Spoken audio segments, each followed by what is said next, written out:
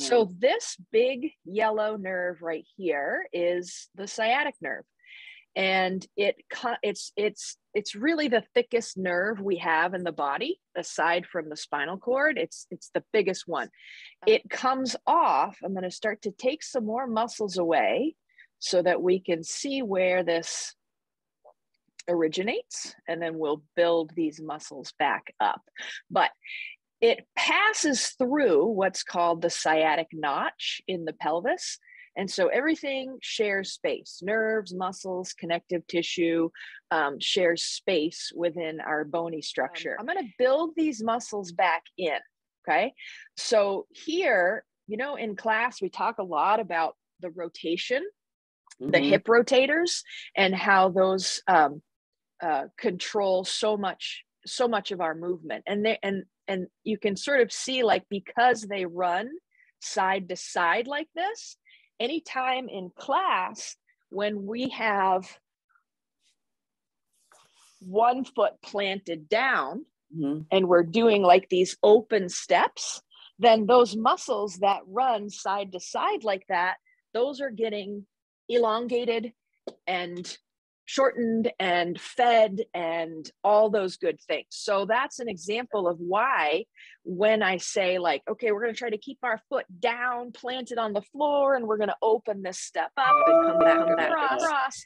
That that really, really um, um, stimulates those muscles that get really weak and tired from all the sitting and the not wide steps that we take.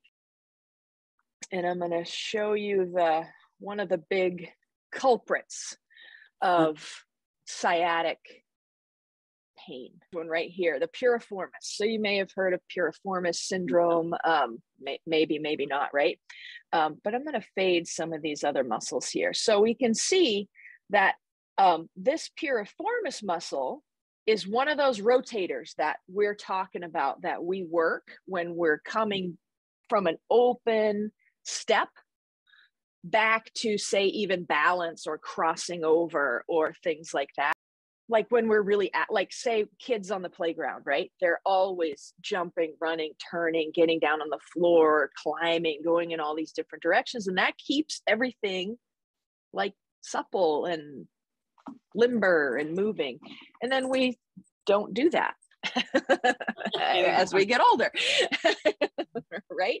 But we might play a sport that rotate like golf or tennis that we're always loading and rotating to one side. Or we might sit and cross our legs a lot where we're always putting pressure more on one side than the other. Or we might stand because it's more comfortable like this which puts more pressure and shortens and changes the length of those muscles from side to side. So it's always like this compilation of of activities. And then there's also um, a really weird little thing about the body is there are different ways that this muscle and these nerves interact uh, uh, or, or the way that we're made. So not everybody looks like this. So I'm going to show you another uh, example of how we're different. Can you did the screen change to like a black and white thing? Yes, yes. Okay. So this is just a drawing of this is that piriformis muscle.